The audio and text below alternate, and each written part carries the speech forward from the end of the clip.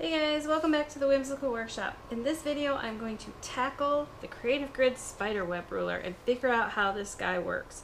So let's get started. Doodles is joining us this afternoon. She's grown so big. Say hi, Miss Doodles. This this is Doodles approved.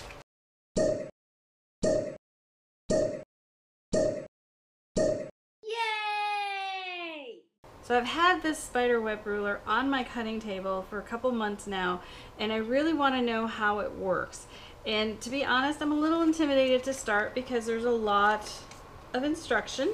Um, but unless I start, I'll never figure it out.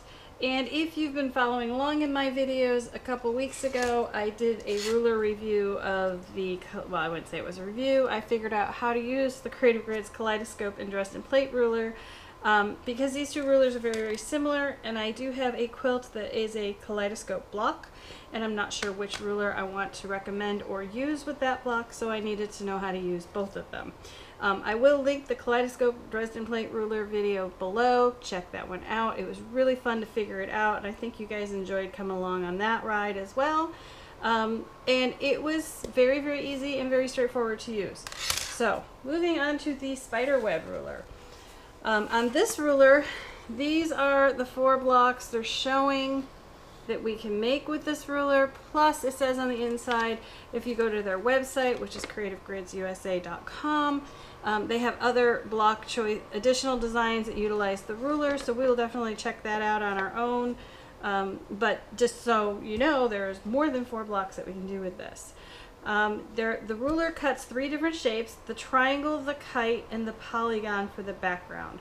All the blocks shown above are, are using a variety of up to three shapes, and they're referring to these. Alright, so what I'm going to do, because I have never used this ruler, is I'm going to go through each section with you. So we've got triangles, kites, background. Then it shows you how to make a kaleidoscope block. That's what we need for that one. Um, and then it gives you actually the sewing instructions for a kaleidoscope block, a spider web, and a four-pointed star block. So we're going to go through all of those. Down here there is a size chart. It tells you the triangles yield based on 42 inch strip. So if you um, are cutting 3 inch strip, you can get 24 triangles. If you cut a 3.5 inch strip, you can get 20 triangles. This is super handy. Super, super handy for me because I'm usually trying to figure out yardages. I'm going to bring this up so you can see it a little better.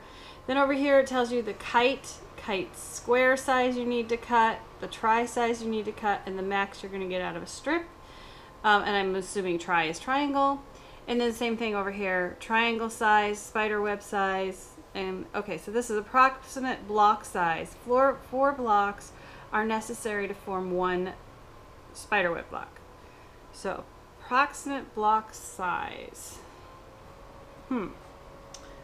Not sure I understand what that is. Maybe it's telling me, okay, so it, oh, I got, well, is that what it's telling me? Triangle size is 3 inch, spider web size is 4 inch, kaleidoscope size is 5.5 inch. I'm not really sure what that chart is. It may come clearer once we get going. So let me start at the beginning. Um, for the demo today, I decided we would go super citrus. To do the triangle shape, you use this for the spider web, the four-pointed star, and the kaleidoscope. Cut the triangle shape. Choose up to 15 strip widths from 3 inches to 10 inches. I picked 3.5. Uh, cut the strip of fabric or sew the strips together to create a strata equal, which means I could sew three one and a half inch strips to get a three and a half inch strip. And so I'd have like little skinny bars on my block, but we're just going to go with solid fabric right now. Cut a strip of fabric. Align the horizontal measurement. All right, so let's let's do this. Because again, I don't know what we're going to need these shapes for, but what the heck. Go big or go home, right? Alright, so I'm just going to layer these up so when I cut I'm getting three of each, one of each color or three triangles. And I'm going to get rid of the seam allowance at the end. Or, sorry, it's, it's a Friday night. I'm going to get rid of the uh, selvage at the end.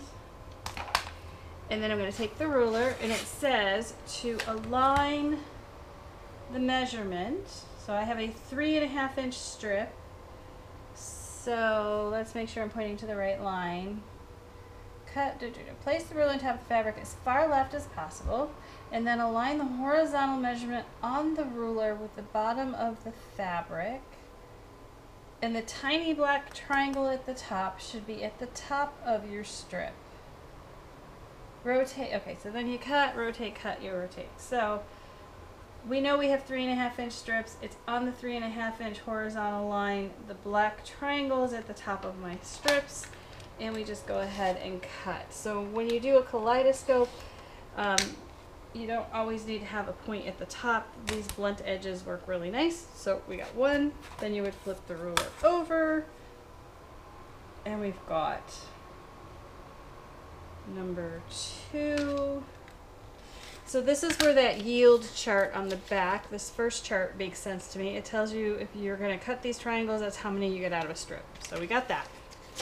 So you're going to cut these the same way whether you do a kaleidoscope block or a um, any of these others. I wasn't sure. Sometimes they want you to have that point at the end. Because um, they're showing the point in the picture, but I don't think that's right. Because it says refer to triangle, triangle cutting instructions to cut eight triangles the block. Cut the corner triangles, refer to the course, blah, blah, blah. We'll get to that. But okay. And I think anytime you're faced with something that confuses you or um, intimidates you, you just have to break it down into smaller steps. Like this, if you look at the whole thing, this is kind of confusing for me. Um, I will admit I am very much a visual person and not a literal person. And I'm one of those people that look at the pictures and then when I get in trouble, I read the directions. Um, and unfortunately, sometimes instructions are written. Ooh, I got a horrible wave in that fabric. Sometimes instructions are written so that you um, have to do both, and that is the case here because there's a lot of little nuances to these rulers. There's a lot of technology built into them, a lot of um, tips on how to use the pieces. So you really do want to both read the instructions and look at the pictures. And anytime that that is a requirement, I'm a little more hesitant to try it, which is very silly, but very true. So, all right, and I'm getting kind of wavy here, so I'm going to square that up and do it this way. All right, so we have a bunch of these triangles cut. And I think I'll just cut a bunch of each shape as we go, and then we'll piece them at the end. I think that's gonna make the most sense. So those are our triangles. Okay, kites. Kites, a kite shape is used in the spider web block, the four-pointed star. So that one, without the glare, that is a spider web. That's a floating spider web. That's the four-pointed star. And again, that's the kaleidoscope block. That That's what's in my quilt. So, we're going back to the directions. Kites. Kites use the shape, blah, blah, blah. To cut the kite shape, refer to the numbers printed in the center of the ruler. The center of the ruler. Let's get a piece of some, oh here, I'll use my sketch pad for you guys. We need some, oh, that's not white, that's not white, there we go. Some white for you. There we go. Now we can all look at this together without the glare of the, um, there we go. All right, so as I hold this up, I will read the directions to both of us. Kite is a ship, blah, blah, blah. The top Okay, look at the, refer to the numbers printed in the center of the ruler. There we go. There's all the center ruler numbers. Um, the top number corresponds with the triangle length and the number directly below is the size of the square necessary to cut one kite shape for that particular size triangle. So we cut three and a half. This is saying the top number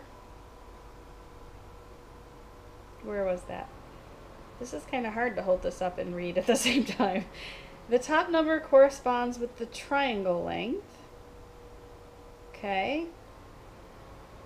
That's three and a half, that's what we cut. The bottom number tells us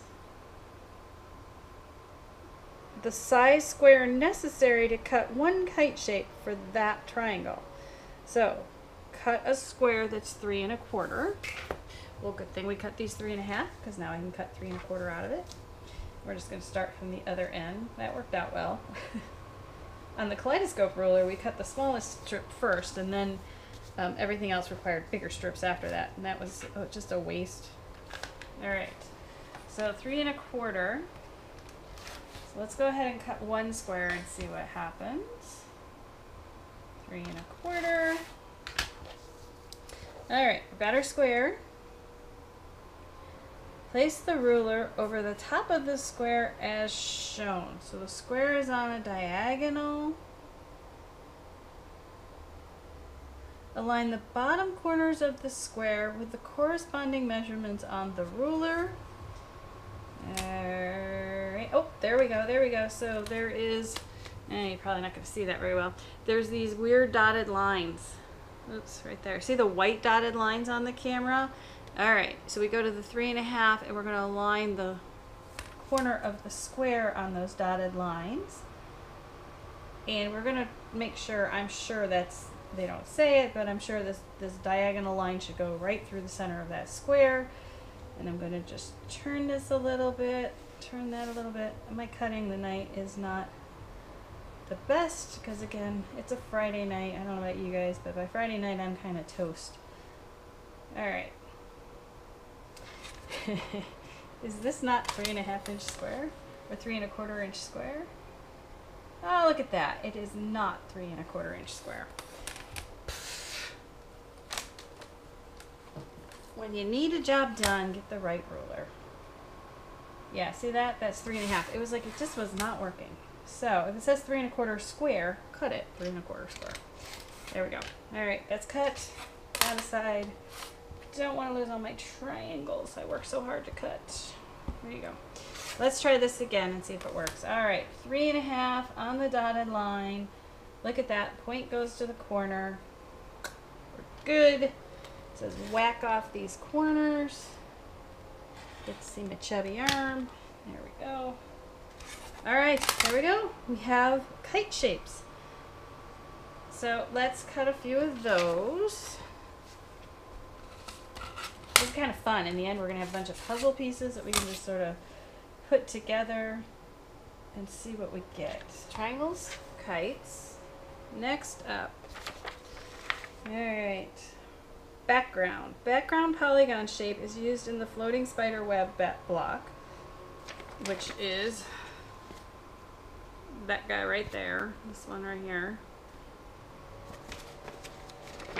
Uh, to cut the background shape, use the square measurement located in the center of the ruler that corresponds with the size. So guess what? They're going to be three and a quarter as well, because that is what we just did. Alright. To cut the background shape, use the square measurement unit located in the center of the ruler that corresponds with the side of the triangle which you are working with. We know that's three and a quarter. Multiply that measurement by two which is six and a half. Then I'm reading their example, which is what I'm doing. Um, cut one a six and a half inch square for the background piece and cut in half diagonally from corner to corner. Alright, so let's do that first because it goes on and on and on. Um, so we're going to use the green because I have a lot of that. And please, no, I'm just doing these for demos, so I'm not being super, super accurate. It's okay. We'll get through it. Alright, so those are my six and a half inch squares. Let's take two of them. It says to cut them across the diagonal.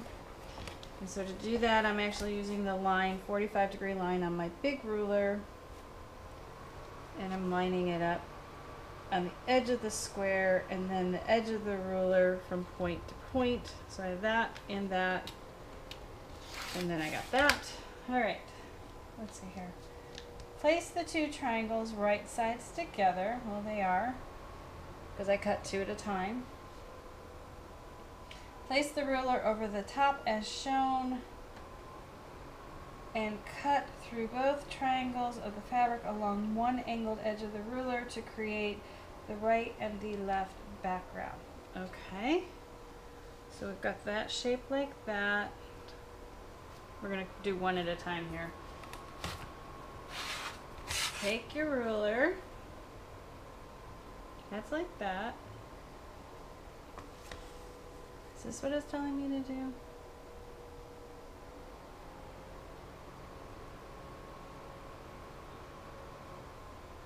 Well,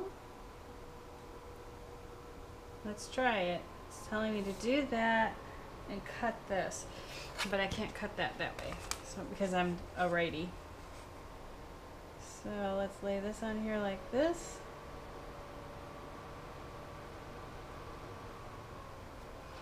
Just to cut that. This they say discard. And that gives me, voila, we did it. Turn the triangle this way. Place this on, and I'm assuming because of what we're working on. Oh, that's what I, oh no, that's, that doesn't go all the way to the end. Corner, place two triangles right side together. Place the ruler over the top as shown. So they're just saying just do this. They're not saying to align it with anything. So they're just saying that that point goes there. They do have the diagonal line going through the middle, but it's not aligning on the white dotted line. Well, let's try it. And then they're saying cut this side off, but again, I don't see why it would matter. So let's cut that off. Alright, so that was not as easy as it sounds. Cut through both triangles of the fabric along one angled edge of the ruler to create a life left and right background, which I've done. Alright. Now, kaleidoscope block. The block kaleidoscope block requires eight triangles, which we've already cut, and four small triangles. Several results are possible with different fabric selections. The eight triangles from the same fabric, eight different fabrics of the same value, blah blah blah. It goes on and on and tells you just design ways you can use it. Um, let's see here. Refer to the triangle cutting instruction to cut the eight triangles for the blocks. We've done that. To cut the corner triangles, refer to the corresponding number located in the center of the ruler again. The first number is the length of the triangle. We got that. Second number is the size square necessary for the small corners. So three and a quarter. Cut two squares that size and cut and craft diagonally from corner to corner to create your four corner squares. Um, I'm going to grab a little bit of white for this and then just cut across the diagonal. And these are going to be our kaleidoscope corners. So they're saying to pick these, to stack these up like this. And you see how I'm doing it. This to here, this to here, this to here. This isn't in the directions. This is just me being smart, hopefully. And this to here. Now, I'm going to sew this along here, and this one goes along here, and this goes along here. Oh, look at that. They match. They should all match. All right, so we're going to go sew those all together, and then press the seams to one side. Okay, so they're saying press the seams to one side, and sew the sets again to join the units. When I was making the kaleidoscope blocks on the other ruler, I found these laid flatter if you press the seams open totally your choice, but I will be pressing these open. So let me go sew these together and then I will be right back. So I do want to show you how I press my seams open. I use a strip stick, which I will link below. Um, there's long ones and a short one. We sell two sizes. Um, but what you do is you lay your piece on with their seam and it'll stand up. If you hold your finger here, it'll stay standing up. And you take the, the tip of your iron right here and you just go right across. And you can see even finger pressing, the radius of the wood will help it lay flat and that is what you get. Super slick, super easy, and that's how I press all my seams open. Alright, so I've got all of these sewn. So how'd I do? Alright, so then you're going to sew those two together and those together and then that to that. So let me go do that. Alright, so I have my corners sewn on. So to square this up, we're going to take a six and a half inch square ruler. We're going to put the center of the ruler on the center of my kaleidoscope and just trim up these outer triangles and if needed the bias edges of the triangle. And again, turn it, rotate it. If you have a turntable, I have a Martelli turntable I love, but you see I don't have it out. When I'm doing these demos, like when I go to do the quilt, I will pull it out for sure. But when I'm doing these little demos, I don't usually pull it out. So there's the first one. You can still see where it's kind of, kind of bowing out a little bit. Like if I do it that way, you can see, yeah, you can see it, it kind of looks like a parachute. This is the one where it was pressed all to one side. Um, not to keep harping on that. And this is the other one where I pressed all the seams open. And again, I learned that by doing it with the other ruler. I pressed one with the seams to one side and then I actually took it apart, redid it, and pressed it open and it sure looked a lot better and laid a lot flatter. So before I used the strip stick, I hated pressing seams open. Every time someone would say it, I'd kind of groan. But with that tool, that and it's only a, like I think an eight or ten dollar tool, it sure has made my life a lot easier. So there are the kaleidoscope blocks. Um, that's gonna drive me nuts. So let's put those aside. That's that's one block. All right. So I have now cut stacks of everything. So let's lay out what we're going to make.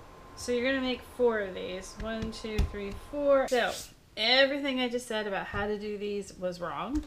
And it was late, and so I stepped away and went to bed and knew that it was wrong, so I tore these all apart. And now we're gonna start fresh again. Now, again, I showed you the block was made like this. But what I discovered, because I'm a little slow sometimes, is that this and this are the same. So we really need to make eight units, I think it is, eight like this, eight units like this. So I'm to go back to the directions and read them again. But what kicked me off that I knew I was wrong is this part here is not even. That's what I was trying to make even. This part's even. So I'm going to go ahead, remark these the way they said and try it again and this time we're going to be aligning up here and I think I understand what they're looking for now. So, oops, this goes this way. There we go.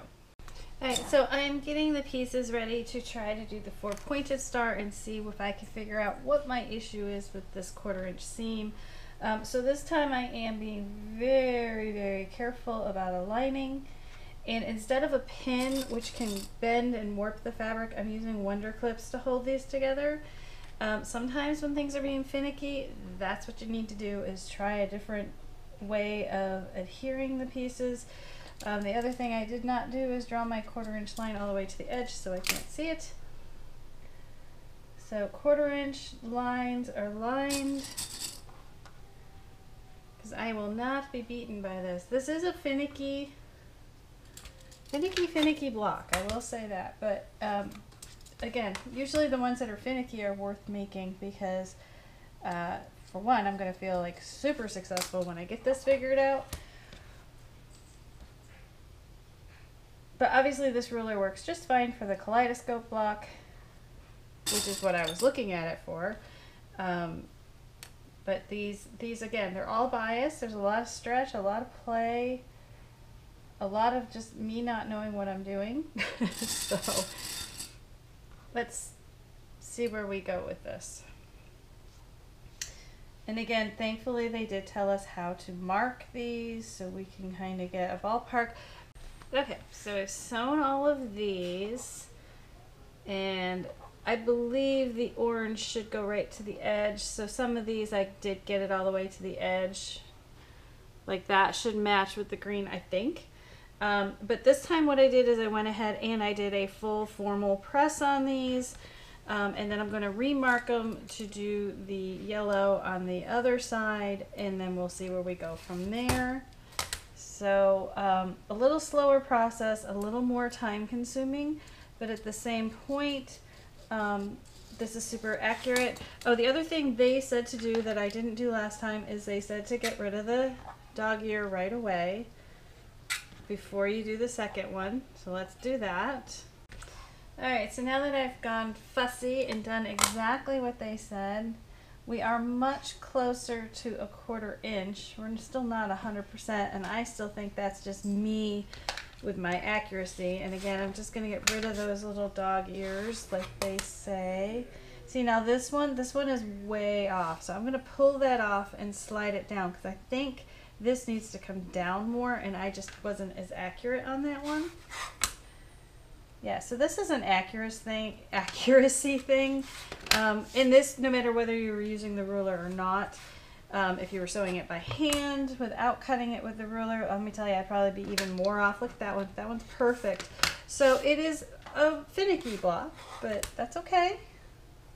Look at that. That one's on top. That one's on right on as well. So this first one, which I've done and gotten sewn together, this is all because I was rushing through and I wasn't really carefully marking and sewing slowly and pressing in between steps and you can see the difference. So definitely um, take your time with these. That one I'm going to fix because the rest of these really are much better. That one's a little bit off. And that one's borderline. I'm to let it squeeze through. Um, so now I'm to go ahead and get these trimmed. We'll sew it and see how much better it comes out.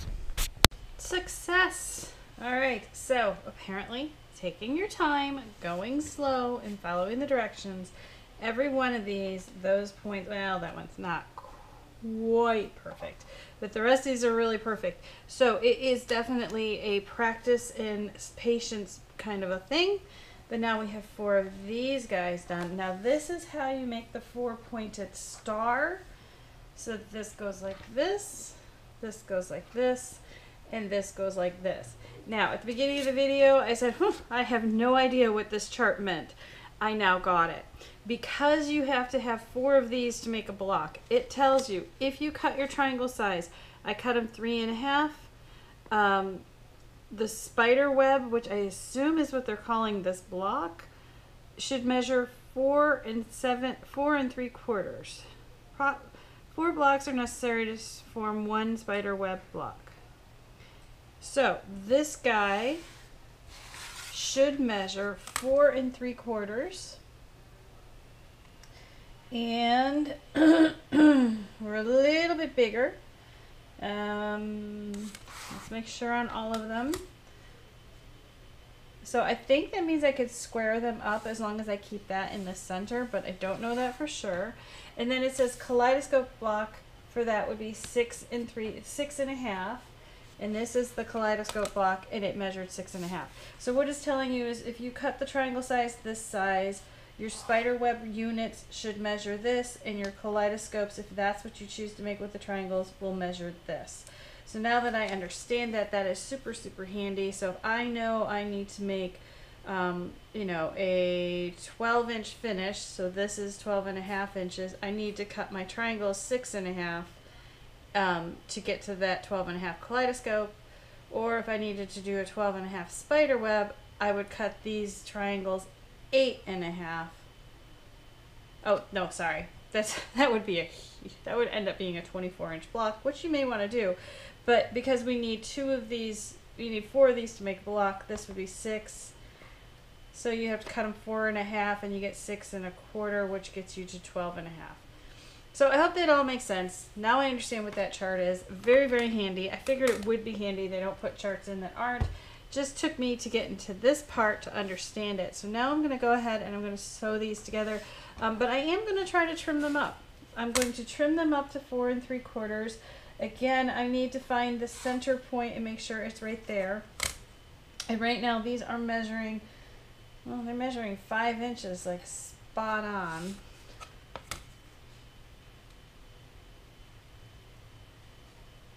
Yeah, I think you trim these up.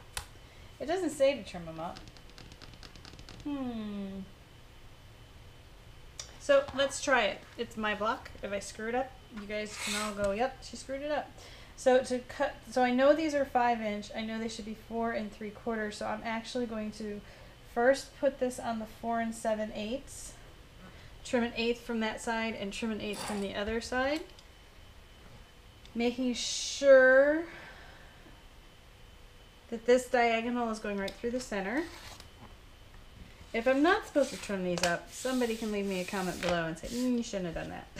but um, that's the one thing that I do love about a lot of the Creative Grid rulers is that you do, they have you trim it up at the end and that gives you a nice clean unit. So I'm hoping, hoping this is what we're supposed to do.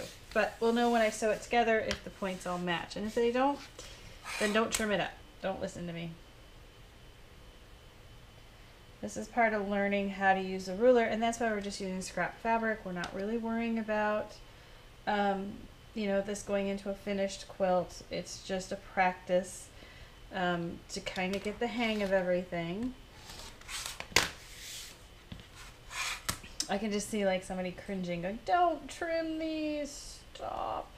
But again, um, as long as you're consistent on taking it off from all four sides and keeping that center point center, we hopefully no. Yep, okay. So when you trim it up, you can make those uneven. I'm in for a penny, in for a pound, so I'm going to go ahead and finish, but I would say do not trim it up based on what I just did. Okay. So I'm going to go ahead, I'm to sew this together. I know it's not going to be accurate because I've kind of screwed up these points. Um, had I left them alone, we probably would have been perfect. Um, but again, that is the other one. So I will do that and show you when I get it done at the end. But the last block in this thing is the spider web block. And you need two, four, six, you need eight of these funky polygons. And you need eight triangles which I happen to. I had to go cut a bunch more triangles, so yes, you didn't miss something. I realized to do all these demos, I didn't have enough triangles cut, so I did it off camera. So there's those and those. All right, so let's see how do we do this.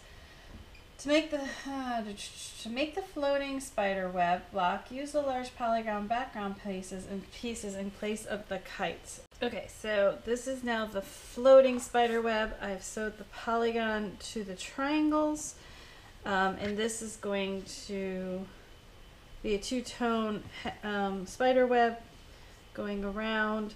Um, but I wanted to show you first how much excess is out here. Um, I'm assuming we're going to be trimming. And the other thing is when I did the same thing, I marked the lines just like we did above. I marked, uh, let me show you here, like this goes on here. So I did mark that quarter inch, that quarter inch, and I aligned the two quarter inch lines. So that was the same, just ignore this, just pretend it's part of a kite. But then um, when I pressed these, again, there is no real direction about pressing. I press these towards the triangle and these towards the polygon so that when we go to sew these together, they'll nest right there. Um, and again, this is just me with my own personal experience. I think that that's going to make this pop together easier. So I'm going to go ahead and get all of these sewn and show you the next step. All right, so we have the floating spider web units done, I believe. Um, it's kind of cute, looks like a flower. Um, but now I think it doesn't, yeah, it doesn't tell you to trim it. And I think what's going on is there's a lot, I mean, this has got so much information that I think sometimes when we're writing instructions and we're given this much space, certain things get weeded out. And I wish they had given us a little more direction on how to trim things up. But again, this chart here, I cut with three and a half. So the spider webs, these are four and three quarters. Um, I know they said you just sort of lay this on here and square these up even. And guess what? That's giving me, that's giving me a five and a half inch unit. So I'm going to square these up. And then I believe you turn this around. And again, because um, I sewed the floating star, and even though I squared those up, it came out really nice. Really, really nice. So I do think you have to trim them up to what the chart says. Um, I just think you have to be a little more precise and careful with it. Um, which is not normally the case with Creative Grid rulers. Usually there's something on the ruler that you just lay it on there and you, and you got it. And, you know, it's very user friendly. I think because of the complexity of these blocks um, and the ruler, there's a lot, you know, they expect you to have some basic quilting knowledge on how to deal with bias triangles. And so if you're uncomfortable with that, this may not be the first ruler to start with. Um, but I do have to say I'm getting some pretty impressive results. I'm very happy with what I'm getting.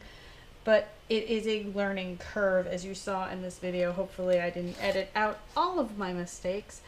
Um, So this goes together like this, so you'll have a spider web with background all the way around.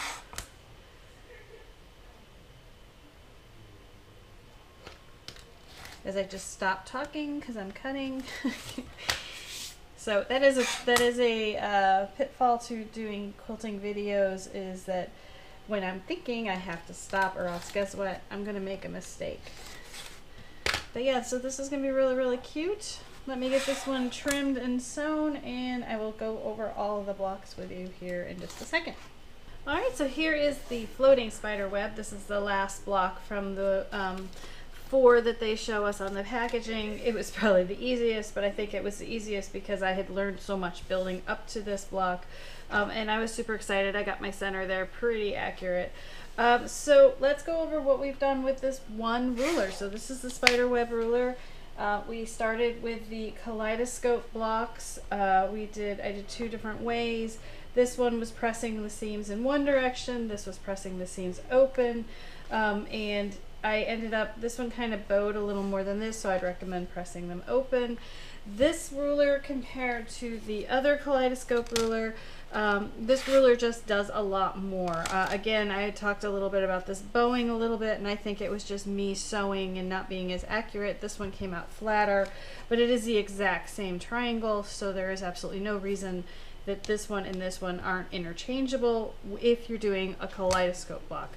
This one will go on and do a Dresden plate block. Again, you can check out that video for what that looks like. But if you're a more advanced quilter and you want to do a variety of different blocks, I would say the spider web ruler is for you. If you're more of a beginner or advanced beginner, then the kaleidoscope Dresden plate blocks were much, much more um, accessible and easier to learn out the gate. Um, this one has a learning curve, not the ruler itself, but the blocks you're making. So let's go on from there. So we did the kaleidoscope, very, very excited. Then we moved on to the uh, spider web block and the four pointed star and you saw I kind of struggled with that one. I think the instructions, I mean, they're they're very good, and if you're more of a literal person, you probably would have picked it up faster than me. But I wish that this was accentuated a little more to actually show you how much of the kite sticks out from the triangle. And I wish that they would say that this chart here is a trimming chart. I don't know if that's actually what it should be, or if I should not even have trimmed these but I did feel they needed to be trimmed to kind of square them up at the end to make them nice and neat. And my blocks were coming out at five or five and a half versus the four and three quarters they're telling me right here. So maybe if somebody's really, really familiar with this block and this ruler, they can tell me what I was doing wrong. But even by trimming these up, I did get successfully um, this one here is your spider web block with the uh, triangles in the center. Um, again, my this one I was slapping together. I would say I wasn't being super super precise, but I still. I mean that, that that's not perfect, but I could certainly live with this in a quilt and not be fretting over it. But then on the uh, floating star one, I took much more time. I measured in, I lined everything, and I think that one came out flatter and neater and nicer. So again, it wasn't the ruler, it was the sewer my point sections are better. Now I did press, I pressed these towards the triangles, but then I did press all these other seams open. Um, I think it gives you a much flatter, nicer, less bulky block. So there's those. And then the last one we did was the floating spider web block. So a lot of information in this one ruler and a lot of blocks. Um, so one, two, three, four different blocks from the packaging. And again, they said they had more ideas on their website at creativegridsusa.com. Certainly check them out. That website is pretty robust. There's a lot of stuff there. But I hope you have enjoyed watching me learn how to use the spider web ruler from Creative Grids. Uh, I will link all of this below. Um, the extra videos, the rulers, um, and I will also put the Creative Grids website down there for you as well. Um, and let me know in the comments below if you want to see more ruler uh, videos where I'm trying to figure these out. I've got lots and lots of rulers I have not used and I would love to have a reason to pull them out and if it's a video you guys want to see that would be great. You can even tell me which ruler you're interested in seeing and I can see if I can get that video done. Um, so as always, I want to thank you for watching. Make sure you like and subscribe and hit the thumbs up down there. I appreciate it and I really appreciate all of you and have a good day.